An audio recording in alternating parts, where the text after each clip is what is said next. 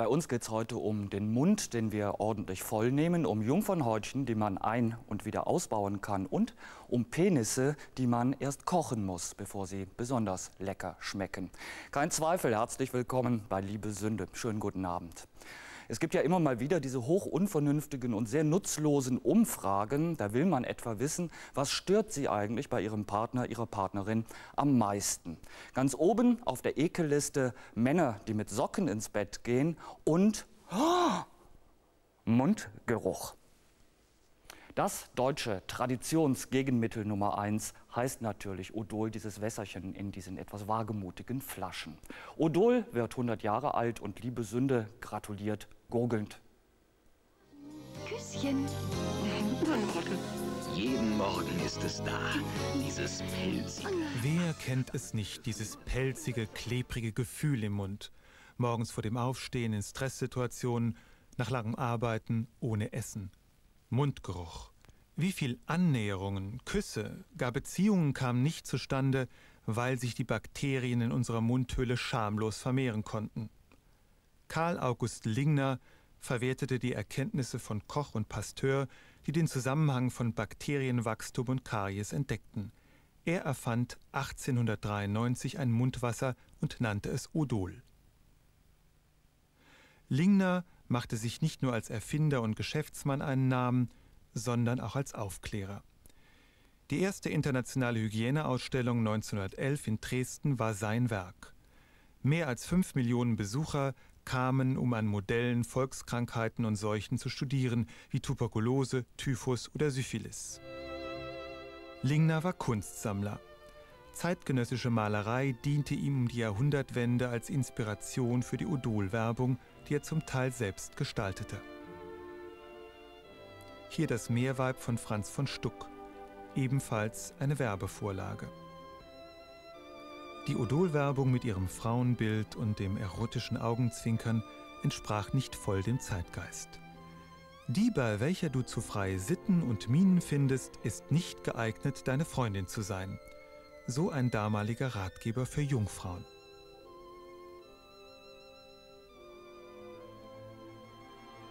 Auch für die stürmische Mutterliebe braucht es frischen Atem. Ein Kuss, den mir mein Schätzchen reichet, des München durch Odolgenuss der duftig frischen Rose gleichet. Ja, so ein Kuss, das ist ein Kuss. Neben Frauen, Kindern und Naturschauspielen dringt nun das männlich-aggressive Element in die Gestaltung der Werbung ein. Das Kriegsschiff, die Kanonen, ein phallisches Symbol. Auch der Lanzer benutzte Odol, wie Fundstücke aus dem Ersten Weltkrieg es belegen. Nach dem Ersten Weltkrieg ging das großbürgerliche Zeitalter zu Ende. Industrien wuchsen. Menschen ballten sich in den Städten. Gerade die, die hart arbeiten mussten, hatten die schlechtesten hygienischen Bedingungen. Arbeiterwohnungen verfügten über kein Bad und kaum fließendes Wasser. Ganz zu schweigen davon, dass sie sich Odol leisten konnten, was damals 1,50 Mark kostete. Wichtige Käufer waren die neue Schicht der Angestellten, vor allem die Frauen. Körperpflege und Kleidung standen bei ihnen an zweiter Stelle im Haushaltsbudget. Die äußere Erscheinung galt fast als Berufsqualifikation. Gut riechend und schön frisiert verkaufen sie besser. Die Umsätze steigen. Schon wieder ein Korb. Tabakgeruch aus dem Mund des Tänzers schreckt jede Dame ab. Wie der Charleston gehört auch Odol zu den wilden 20er Jahren. Hollywood mit seinen Filmküssen blieb nicht ohne Folgen auf die Odol-Werbung Ende der 30er Jahre.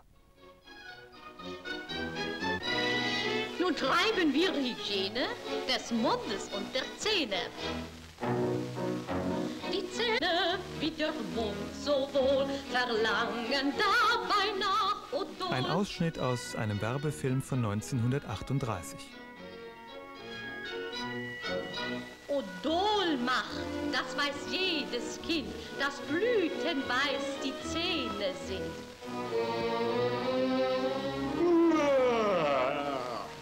Ich Unglückswurm hab nie bedacht, wie schön Odol die Zähne macht. Ganz anders als der Frosch haben diese Grazien fleißig die Zähne gebürstet. Zähne wie Perlen. 1945. Es wird wieder aufgebaut. Den Schrecken schnell vergessen. Wir waschen uns eine weiße Weste. Es gibt welche, die aus der Lüge ausbrechen wollen, die anderen feiern Spießbürgerhochzeit. Ein kleiner Herr, sehr gut erzogen. Und sicher sagte man ihm schon, Odol gehört zum guten Ton. Odol hält Mund und Atem rein. Odol muss sein. Von Kopf bis Fuß rein. Alles frisch desodoriert. Nur nicht unangenehm auffallen. Der gute Deutsche hat kein Geruchsgespenst zu Hause. Ich kann ganz sicher sein, mein Mund ist frisch, mein Atem rein. Es macht aus Muffelatem frischer Atem. Sympathische Frische, soweit der Atem reicht. Also ich weiß ja nicht, ich kriege bei solchen Spots da immer ein ganz schlechtes Geruchsgewissen. Ich gehe mich jetzt mal eben ein bisschen frisch machen und weiter geht's dann bei uns mit Gabi und Biggie. Die machen sich natürlich mal wieder lustig und zwar über unanierende Jugendliche. Dabei ist das durchaus ein ernstes Thema. Sex im Jugendbuch gibt es gleich bei uns. Hey,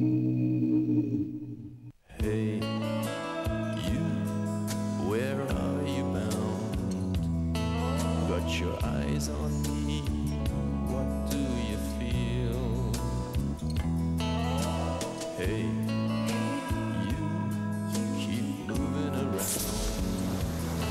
Keep our love forever fresh, forever young, forever Old Spice. Forever fresh, forever young. Jetzt kommt's gleich ganz dick. Gell? Die neue 300 Gramm Tafel von Milka, das ist schon was. Komm, ich nehme das ab. Dieses Riesending, daumendick ist die. So dick, dass sogar ganze Haselnüsse reinpassen. Die zarteste Versuchung, seit es Schokolade gibt. Äh, die Rechnung bitte. Was machen wir jetzt? Das sagst du. Danke. Es ist dein Geburtstag, Papa. Ich bezahle.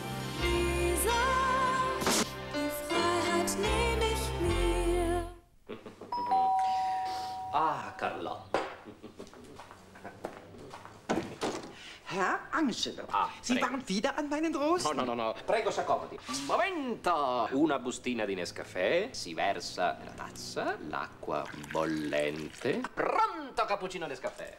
Una rosa a una donna bellissima. Ah, eh, stavolta è Carlotta. Ah, für Carlotta. Für die italienischen Momente im Leben. Nescafé Cappuccino.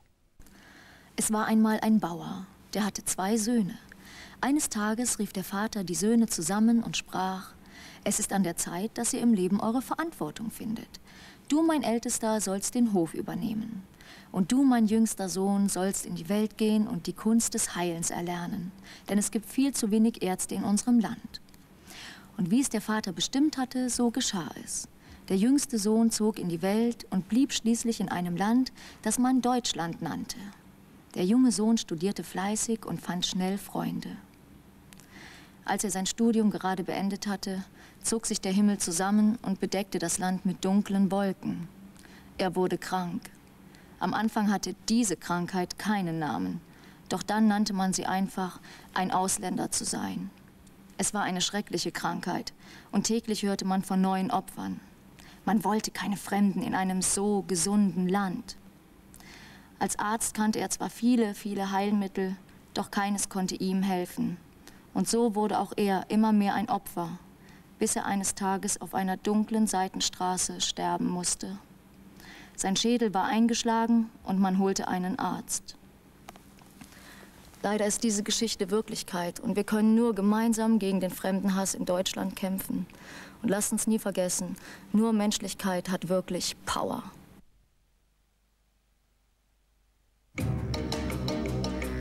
Freitag 21.15 Uhr, Spiegel TV Interview. Sabine Leuthäuser-Schnarrenberger. Ich glaube, ich beanspruche das für mich, dass ich mich in dem einen Jahr nicht verändert habe. Gar nicht? Ich schlafe etwas zu wenig manchmal. Freitag 21.15 Uhr auf Vox. Fremde Welten. Indien wie ein Märchen aus Tausend und einer Nacht. Ein Maharaja lädt zur Hochzeit seiner Tochter. Die Prinzessin wird verkauft, ihr Titel versilbert. Die ehemaligen Herrscher machen heute nur noch Geschäfte. Maharajas, das Ende einer Legende. Fremde Welten am Samstag um 18.15 Uhr. Matthias, kommst du bitte? Sag mal, halt einen Moment. Es geht schon wieder los. Man hat in dieser Sendung überhaupt niemals irgendetwas an Ruhe. Ich wünschte ja, eigentlich hätte es mal so gut und so bequem wie Gabi und Biggie.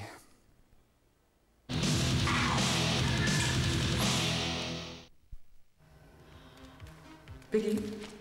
Biggie? Glaubst du eigentlich, dass Honey und Nanny jemals masturbiert haben? Also ich weiß nur, dass zu der Zeit, als ich Honey und Nanny gelesen habe, ich gelernt habe zu masturbieren. Also was kam bei denen natürlich nicht vor. Das ist wie mit Hollywood-Filmen und Verdauung. Die Realität wird einfach immer ausgeklammert. Also ich weiß nicht, ob ich die Verdauung von Robert Redford wirklich gerne sehen würde. Wenn überhaupt, ne? Dann gab es Sex in Mädchenbüchern ja nur mit Pferden. Diese ganzen starken, feurigen Geschöpfe mit ihren warmen Flanken, Dick und Dalli und die Ponys, das war doch der reinste Gruppensex. Ich konnte Pferde sowieso nicht leiden. Meine Mutter hat erzählt, ich hätte als Kind gerne Pferdefleisch gegessen und dazu gerufen, Black Beauty soll sterben. Du, auf jeden Fall hängen einem Kinderbücher lange nach. In meiner Klasse war ein Mädchen, die war früher Pumuckl-Fan. Und die hat heute nur Typen mit Sommersprossen und roten Haaren. Sag ja doch mal, Meister Eder und sein Pumuckel sind schwul. Die haben doch was miteinander. Glaube ich auch. Auf jeden Fall steckt in Kinderbüchern mehr als man denkt. Erinnerst du dich noch an Georgina aus den Fünf-Freunde-Büchern? Das war doch die erste Kampflesbe meines Lebens. Die hatte kurze Haare, trug nur Hosen und ließ sich George nennen. Also ich könnte wetten, dass die heute in Südengland eine feministische Mitfahrzentrale leitet. Nein, ich glaube, Hanni und Nanni waren einfach zu blöd zum Sex. Außerdem hatten sie überhaupt keine Zeit. Ja, sie mussten sich immer zur Klassensprecherin wählen lassen.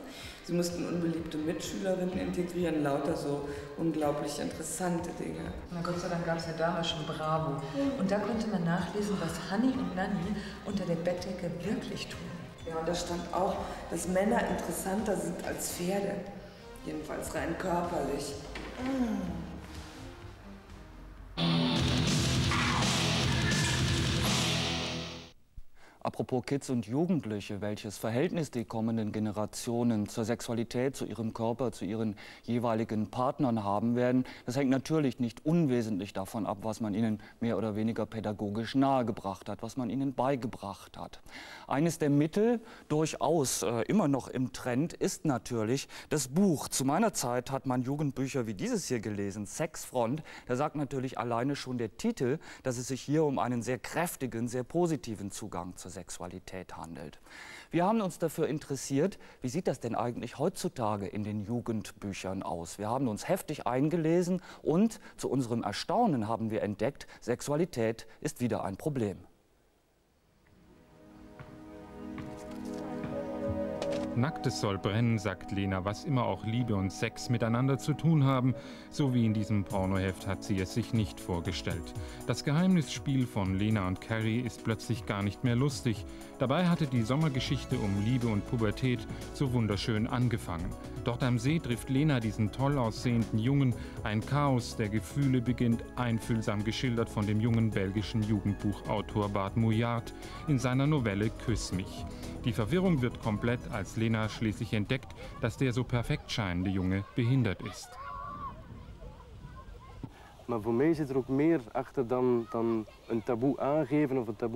Es geht in diesem Buch darum, dass Menschen erkennen, dass etwas niemals das ist, was es eigentlich zu sein scheint. Der Junge sieht sehr hübsch aus, aber er hat auch etwas zu verbergen. Das bemerkt Lena erst später. Nachdem sie merkt, dass er ein bisschen krank ist, muss sie sich entscheiden, ob sie ihn wirklich näher kennenlernen will. Moet ze daar weer overheen stappen en voor zichzelf beslissen of ze nog wel verder wil. Of, of ze die jongen echt wil leren kennen en blijven leren kennen. Da ist sie, die problembeladene, die dunkle Seite der Liebe, häufig Thema in den Neuerscheinungen des Jugendbuchmarkts der letzten Jahre.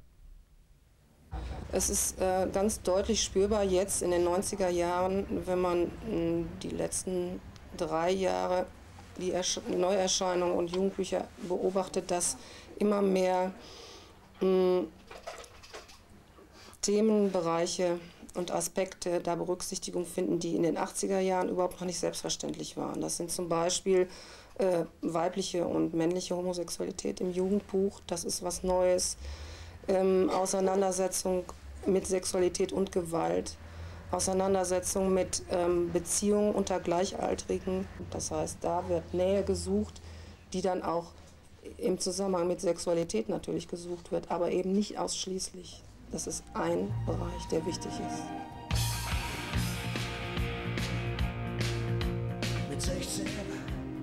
Es war nicht leicht zu wissen, was Gora während dieser langen, stillen Umarmung dachte. Marlin dagegen begann sich zu überlegen, wie man so eine Umarmung am natürlichsten beenden konnte. Wenn man zu lange weitermachte, konnte die Umarmung leicht peinlich werden. Wie lang war zu lang und wie sollte man aufhören, ohne dass beide verlegen wurden? Zitat aus Ich bin Marlin von Peter Pohl. Die Nöte, Ängste und Wünsche von Jugendlichen hat Bart Mouillard, Redakteur bei einer belgischen Jugendzeitschrift, jeden Tag auf seinem Schreibtisch. Wat mij opvalt in de brieven die we dit jaar kregen in deze Was mir auffällt an den Briefen, die wir erhalten, ist, dass sehr viele Jugendliche allein sind mit ihren Problemen. Sie lernen niemanden kennen bzw. haben nicht den Mut dazu. Wenn es um das Thema Liebe geht, so stehen sie oft vor dem Problem, ich bin verliebt, aber er oder sie nicht in mich. Diese Unsicherheit ist sehr stark spürbar. ik ben verliefd, maar hij is het niet, of omgekeerd, is dat nog heel sterk aanwezig. Und plötzlich schlägt die Fantasie Purzelbäume, wie zum Beispiel in Von hier bis Kim, meine Erzählung des Schweden Bert Danielsson. Sie sitzt am Fenster. Sie ist schön, unbeschreiblich schön. Ich versuche die Augen von ihr abzuwenden, aber das geht nicht. Ich muss einfach hinschauen. Meine Augen kriechen über ihren Mund, ihren Hals, ihre Brust und ihre Beine. Ich spüre, wie meine Jeans im Schritt zu spannen beginnen und meine Hände warm und feucht werden. Zu harmlos, es geht auch schärfer. Sie beugte sich über mich und legte ihre Hand außen auf meine Jeans, über meinen pochenden Schwanz. Ihre Nägel sind rot lackiert und spitz. Auf dem Handrücken zeichnen sich die Adern unter der leicht sonnengebräunten Haut ab. Ihre andere Hand fängt meine Hand ein und führt sie an ihren Schenkel hinauf. Ich fühle die raue, kühle Oberfläche des Nylonstrumpfes wie die Zunge eines jungen Kätzchens. Meine Hand wandert unter den Kleidersaum und immer weiter hinauf. Es ist ganz offenkundig, dass Jugendliche sich dagegen wehren, Bücher ähm, zu lesen oder ähm, als ihre Welt anzuerkennen, in denen Sexualität das Thema ist. Es hat also in der letzten Jurydiskussion einen ganz vehementen Einspruch gegeben eines jugendlichen Jurors, der sagte, wieso glaubt ihr, dass das das Einzige ist, was uns interessiert? Jugendliche wollen, wenn sie lesen, etwas erfahren über sich und ihre Welt und sie wollen mehr als literarische Gebrauchsanweisungen für Verhütungsmittel.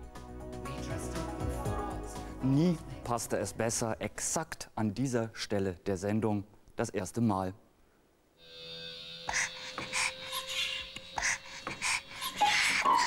Als das erste Mal passiert ist, war ich damals 16 Jahre alt. Und wenn ich mich zurückerinnere, fällt mir als erstes immer dieser Sommer ein.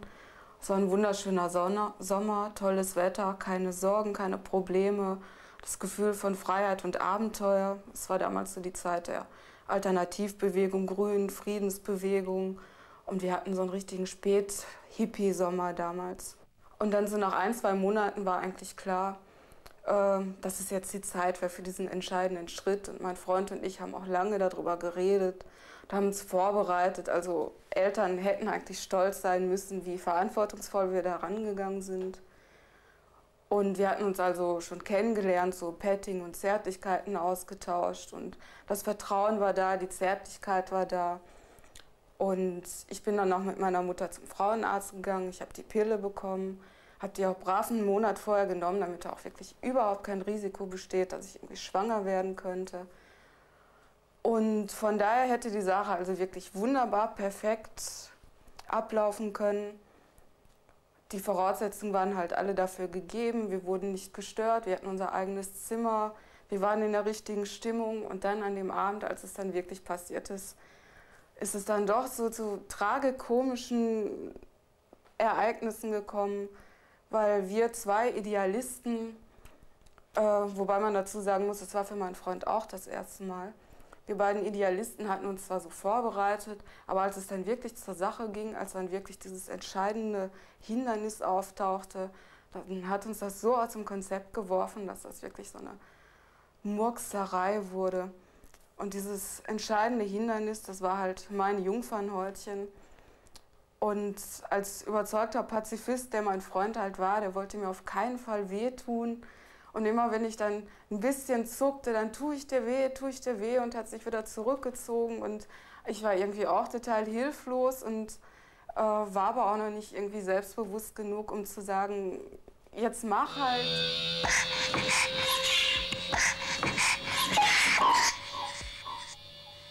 Ja, ja, wenn Pazifisten Sex machen.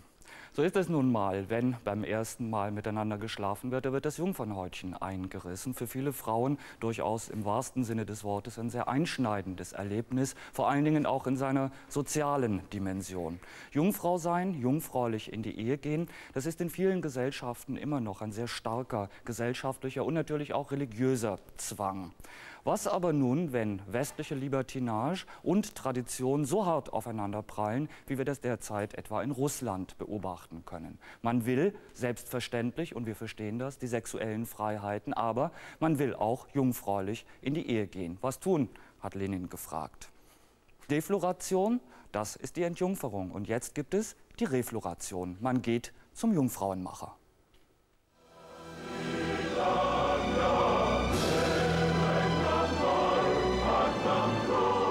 Russisch-orthodoxe Kirche feiert in Russland eine Art Wiederauferstehung. Nach dem Zerfall der Sowjetunion inmitten des politischen und wirtschaftlichen Chaos setzen viele Russen zumindest die Religion mit Stabilität und Ordnung gleich.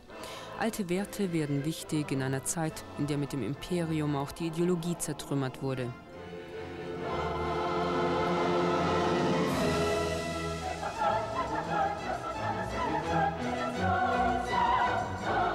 Dimitri und Sonja kennen sich seit drei Jahren. Für beide kam nur eine Hochzeit in der Kirche in Frage. Beide sind sehr gläubig und bereit, auch die strengen moralischen Regeln der orthodoxen Kirche zu befolgen. Dazu gehört auch, dass die Frau unberührt in die Ehe geht.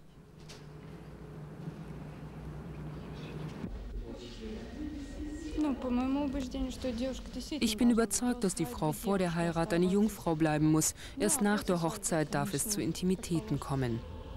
Dabei ist Jungfräulichkeit kein unbedingtes Muss, um getraut zu werden, sagt der Priester.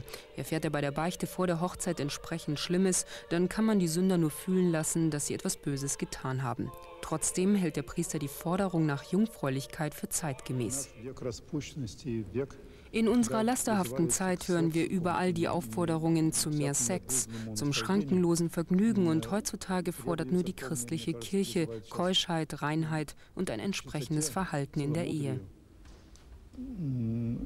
и такому святому, чистому отношению к браку.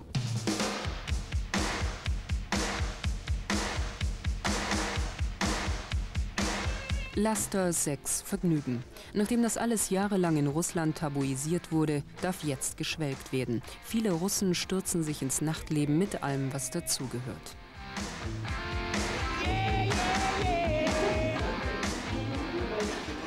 Durch die Bars und Nachtlokale Moskaus geistert immer wieder der Begriff von einer sexuellen Revolution. Hier ist man dankbar, dass man endlich laut über Sex sprechen und denken kann, dass man endlich alles ausprobieren darf. Als wir hier das Gerücht von der Refloration ausstreuen, zeigten sich die meisten belustigt. Und nur manch einer machte sich ernsthafte Gedanken, woher solche Praktiken überhaupt kommen. Das liegt doch daran, dass noch heute auf dem Land das Bettlaken nach der Hochzeitsnacht aufgehängt wird oder dass durchlöcherte Kochtöpfe verschenkt werden, wenn die Braut schon vor der Heirat entjungfert wurde. Was in der Bano mit Kopfschütteln zur Kenntnis genommen wird, ist in fast allen gynäkologischen Abteilungen der Krankenhäuser Moskaus Alltag. Immer mehr Mädchen und Frauen, so versichern uns die Ärzte und Schwestern, lassen sich ihr Hymen, also ihr Jungfernhäutchen, wiederherstellen. Hier in dieser Abteilung waren es 100 Frauen innerhalb eines Jahres. Die Mädchen kommen meist allein, die Operation soll vor Verwandten und Freunden geheim bleiben.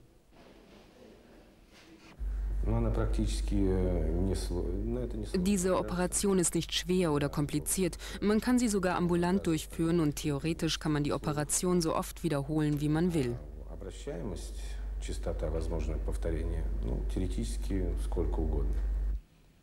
Die meisten Patientinnen kommen aus Mittelasien und aus dem Kaukasus, also aus den islamischen Regionen. Jungfräulichkeit ist dort oft unabdingbare Voraussetzung für eine Heirat. Ein anderer Kundenkreis sind junge Prostituierte. Als Jungfrauen können sie Exklusivpreise fordern. Die Operation dauert nur kurz. Der Arzt vernäht entweder die Reste des Hymen, falls es nicht mehr vorhanden ist, verengt er die Scheide. Zwischen echter und falscher Jungfrau kann ein Mann nicht unterscheiden. Es gibt wirklich keinen Unterschied. Für den Mann ist es absolut das Gleiche.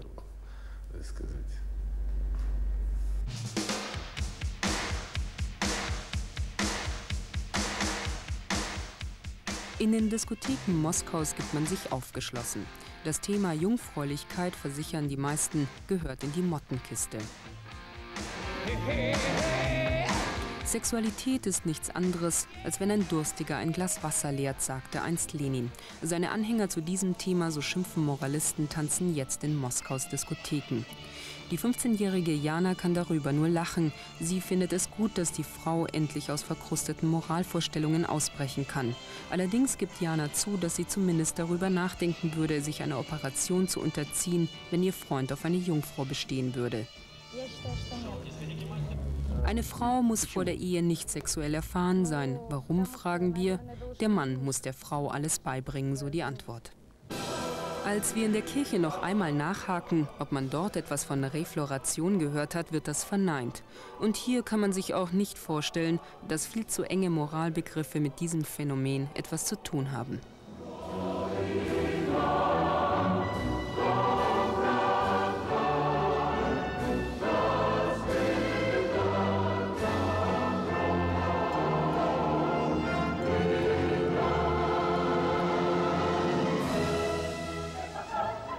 Jeder von Ihnen, der in letzter Zeit eine Wohnung gesucht hat, weiß, das ist ein absoluter Albtraum. Aber Gemach, da lässt sich leicht noch einer draufsetzen. Man kann diese Unannehmlichkeiten durchaus noch steigern. Dann nämlich, wenn man endlich eine Wohnung gefunden hat, ein Nest für zwei, man ist eingezogen und dann geht die Beziehung in die Brüche. Wohnungen sind knapp. Zurzeit sind über sieben Millionen Menschen von der Wohnungsnot bedroht. Der Mangel treibt die Preise gerade in Ballungsgebieten in die Höhe. Jeden, der zur Miete wohnt, kann es treffen. Zusammenlebende Paare mit Trennungsabsichten steuern unweigerlich auf eine Misere zu. Oft stehen beide Partner gleichberechtigt im Mietvertrag. Wer soll dann ausziehen? Und was ist, wenn keine Ausweichwohnung gefunden wird? Wenn die Liebe stirbt, kann die gemeinsame Wohnung zur Hölle werden. Marlene.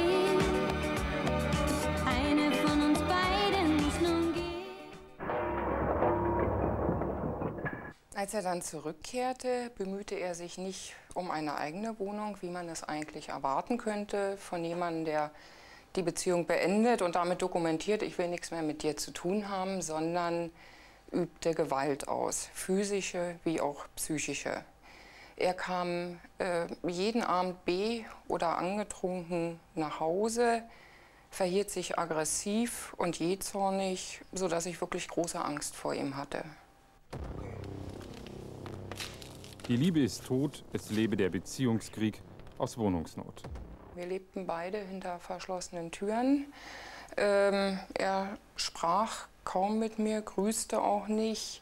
Wenn er mit mir sprach, sah das wie folgt aus, dass er zum Beispiel sagte, häufig sagte, den Namen Spiekermann nimmst du mit ins Grab.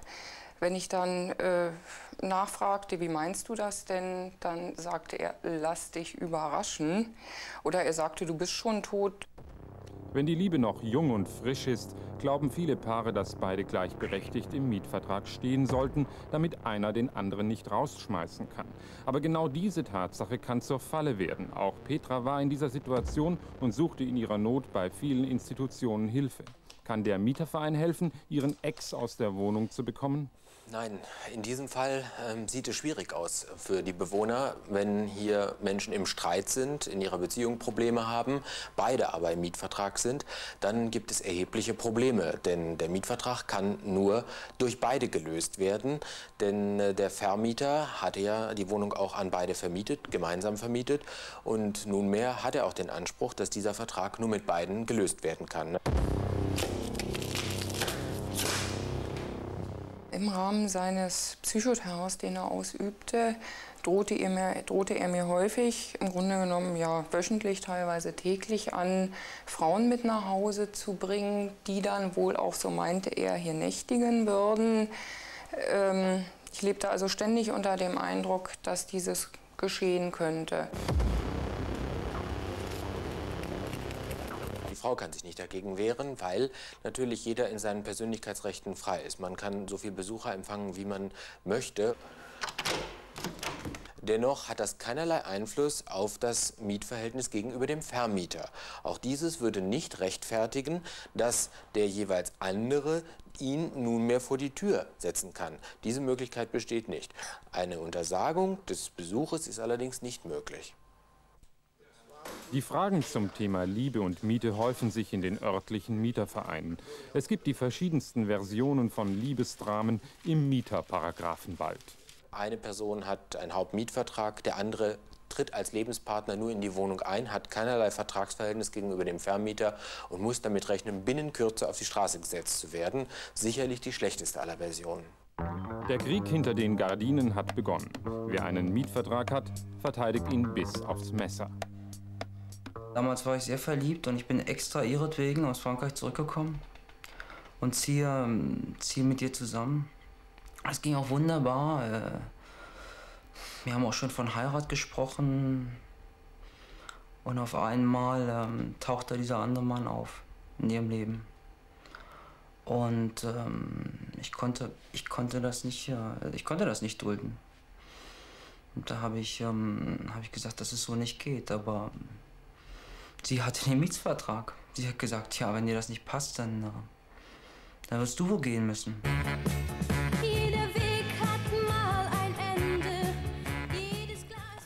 Es gibt ein Lexikon der Intimsprache der Deutschen, wo sämtliche lustigen, albernen, rüden, ordinären und manchmal sogar auch schönen Ausdrücke fürs Geschlechtliche verzeichnet sind. Sex im Volksmund, der obszöne Sprachschatz der Deutschen.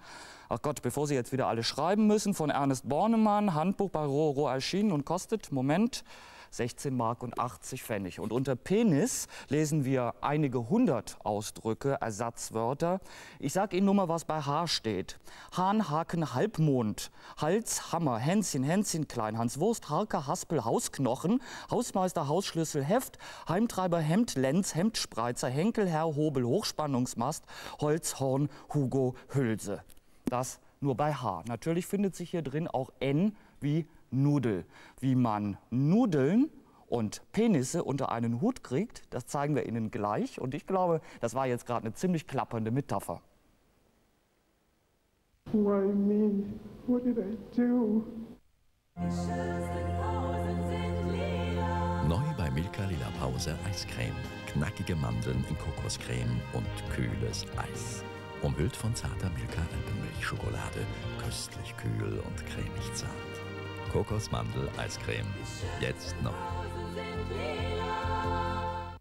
Ein schöner Tag. Das freundliche Diebels gibt es jetzt auch alkoholfrei. Fruchtzauber. Frucht und Creme. Zusammen einfach unwiderstehlich.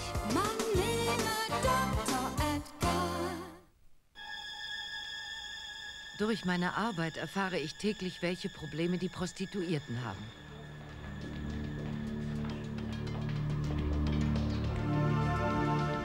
Sie wissen, dass ungeschützter Geschlechtsverkehr ein viel zu hohes Risiko in sich birgt, sich mit dem Virus der Krankheit AIDS zu infizieren.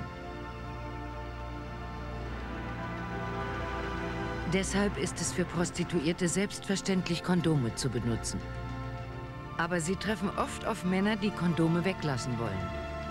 Dadurch gefährden sie sich selbst, die Prostituierte und andere Sexualpartnerinnen und Partner. Bei mir gibt's nicht ohne. 50 mehr? Bist du taub? Nein! Viele Menschen machen sich nicht klar, welches Risiko sie beim ungeschützten Geschlechtsverkehr eingehen. Kondome schützen. Nicht nur vor AIDS. Wenn Sie Fragen zu AIDS haben, rufen Sie uns an. Die persönliche Telefonberatung nennt Ihnen auch Beratungsstellen in Ihrer Nähe. Köln 892031.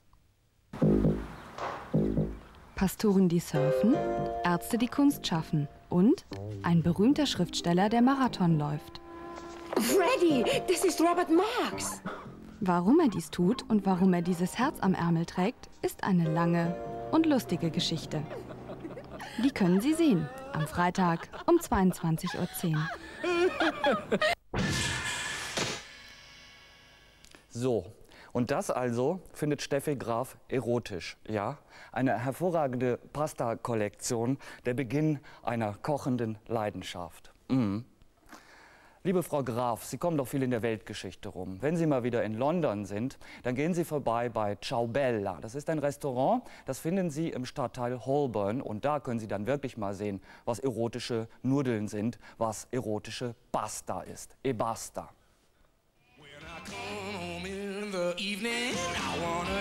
my dinner hot. I wanna smell that old Ich wollte etwas Originelles machen und als ich so mit meinem Küchenchef rumscherzte, fiel uns ein, machen wir doch eine Pasta del Cazzo. Wanna smell that old pot and roast while it's stewing in the pot. Sehr viele Leute kommen jetzt, weil sie von der Penispasta wissen und ihre Freunde überraschen wollen. Die Reaktionen sind allerdings ganz unterschiedlich. Für die Penisfetischisten sind diese Nudeln der neueste Gag in London. Leider gibt es natürlich auch Leute, die unsere Überraschungspasta gar nicht so lustig finden. Ein Desaster. E eh, lì è un disastro.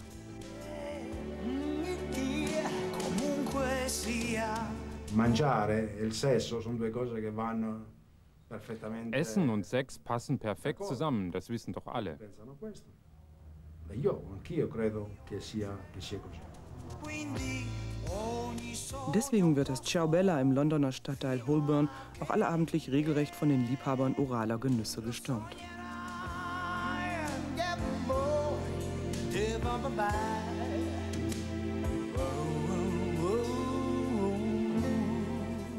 Die sind wirklich erotisch. Wir sind extra aus Sizilien gekommen, um diese Pasta zu probieren. Die gibt's bei uns nämlich nicht. Die Form finde ich wirklich außergewöhnlich. Natürlich nicht für mich, für die Frauen.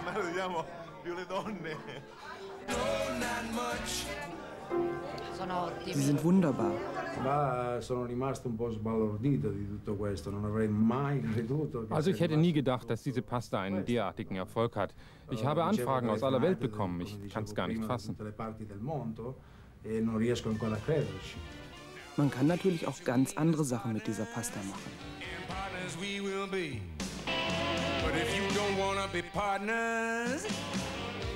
Das kennen wir doch schon von einem berühmten deutschen Chanson. Für mich soll's gelbe Nudeln regnen. Ja, danke, Herr Kollege. Es reicht, es reicht, es ist gut.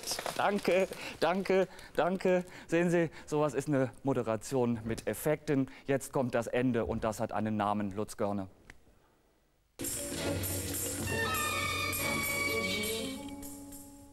Als Johann Wolfgang Goethe 39 Jahre alt war, da lernte er seine spätere Frau kennen. Christiane hieß sie, war Fabrikarbeiterin in Weimar. Sie stellte dort Papierblumen her. Sie war 16 Jahre jünger als der Geheime Rat. Und das war Liebe auf den ersten Blick. Die beiden, die lernen sich in der Ilmaue kennen. Und ein paar Tage später ziehen sie zusammen und sie bleiben zusammen 29 Jahre lang bis zu Christianes Tod. Und in diesem kurzen Zeitraum zwischen Kennenlernen und Zusammenziehen, da ist das Gedicht entstanden, das Sie jetzt hören werden. Morgenklagen, Morgenklagen von Johann Wolfgang Goethe. O du loses, leidig liebes Mädchen, sag mir an, womit hab ich's verschuldet, dass du mich auf diese Folter spannest, dass du dein gegeben Wort gebrochen. Drucktest doch so freundlich gestern Abend mir die Hände, lispeltest so lieblich. Ja, ich komme, komme gegen Morgen ganz gewiss, mein Freund, auf deine Stube. Angelehnet ließ ich meine Türe, hatte wohl die Angeln erst geprüfet und mich recht gefreut, dass sie nicht knarrten. Welche Nacht des Wartens ist vergangen? Wacht ich doch und zählte jedes Viertel, schlief ich ein auf wenig Augenblicke, war mein Herz beständig wach geblieben, weckte mich von meinem leisen Schlummer. Ja, da segnet ich die Finsternisse, die so ruhig alles überdeckten, freute mich der allgemeinen Stille, horchte lauschend immer in die Stille, ob sich nicht ein Laut bewegen möchte. Hätte sie Gedanken, wie ich denke, hätte sie Gefühl, wie ich empfinde, würde sie den Morgen nicht erwarten, würde schon in dieser Stunde kommen. Hüpft ein Kätzchen oben über den Boden, knisterte das Mäuschen in der Ecke, regte sich, ich weiß nicht was im Hause, immer hoffte ich deinen Schritt zu hören, immer glaubte ich deinen Tritt zu hören. Und so lag ich lang und immer länger, und es fing der Tag schon an zu grauen, es rauschte hier und rauschte dort, und saß ich aufgestemmt in meine Bette, schaute nach der halb erhellten Türe, ob sie ihn wohl bewegen möchte. Angelehnet blieben beide Flügel auf den leisen Angeln ruhig hangen. Und der Tag wird immer hell und heller, hörte ich schon das Nachbarstüre gehen, der der Taglohn zu gewinnen, alle hörte bald darauf die Wagen rasseln, war das Tor der Stadt nur auch eröffnet und es regnete der ganze Plunder des bewegten Marktes durch war im Haus und gehen, kommen auf und ab, die stiegen hin und wieder, knarrten Türen, klappern die dritte, doch ich konnte wie vom schönen Leben mich noch nicht von meiner Hoffnung scheiden. Endlich, als die ganz verhasste Sonne meine Fenster traf und meine Wände sprang ich auf und eilte nach dem Garten, meinen heißen, sehnsuchtsvollen Atem mit der kühlen Morgenluft zu mischen. Dir vielleicht im Garten zu begegnen. Und nun bist du weder in der Laube noch im hohen Lindengang zu finden.